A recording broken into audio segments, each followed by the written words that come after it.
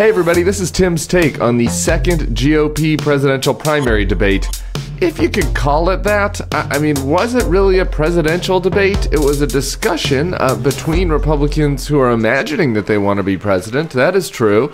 Uh, my colleague Jonathan Last wrote this There was no Republican presidential debate last night. There was only a collection of people playing make believe and a pliant media enabling them hard to sum it up better than that. Um, you know, the, here's the thing. Donald Trump, I don't know if you've heard of him, uh, but he is winning in the polls by 40 points. Okay, these guys and, and, and Nikki Haley, who, who went out there to ostensibly debate last night, and in the first hour of the debate, none of them except Chris Christie even mentioned him.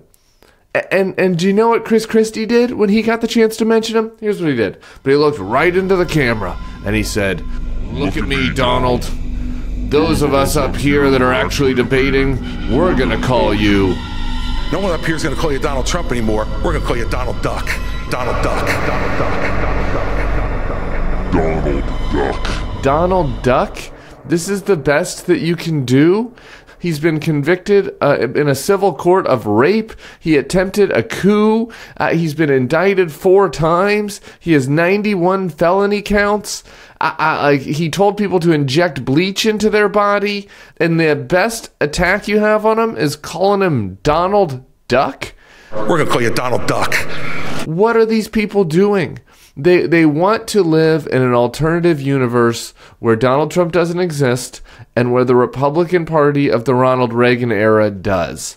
Tim Scott mentioned the shining city on the hill. The city on the hill and they're arguing about who wants to tax c- cut taxes more. Tax, tax, tax, tax, tax, tax, tax, tax, tax, tax, tax, tax, taxpayer, taxpayer, taxpayer. Uh, like they are talking about a party that is from the past, as if we haven't lived through this massive sea change of populist nationalism that has taken over the Republican Party. You know, I knew last night. I didn't watch the debate live because I went to the Beyonce concert because uh, that was a, a, better use of my time. She was amazing. I knew that Nikki Haley had not won the debate when I began to receive texts from Democratic friends telling me how good she was doing. Like, say what you want about Nikki Haley, uh, but she is up there arguing about gas tax cuts and how America needs to be strong in the world and how America needs to be forceful on the world stage. That is not what Republican voters want anymore. They have bought in to Donald Trump's isolationist BS.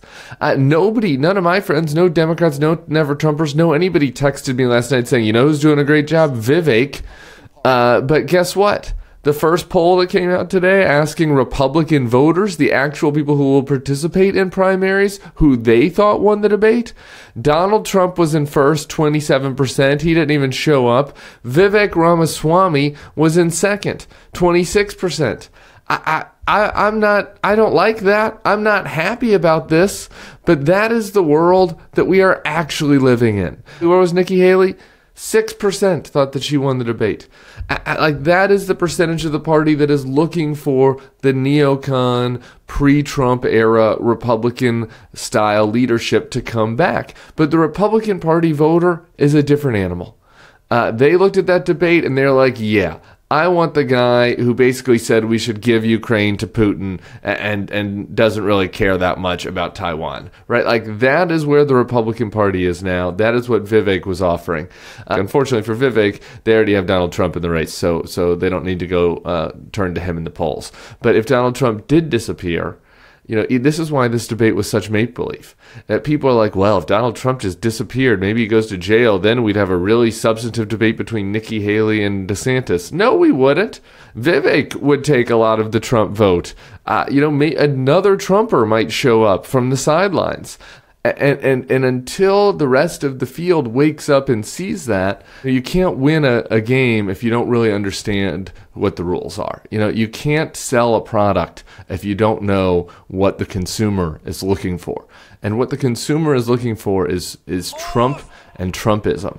And, you know, the rest of these guys, unless they can make a coherent argument against Trump or make a coherent argument about why they are actually better at delivering Trumpist policies to these voters, you know, then they're just wasting their time.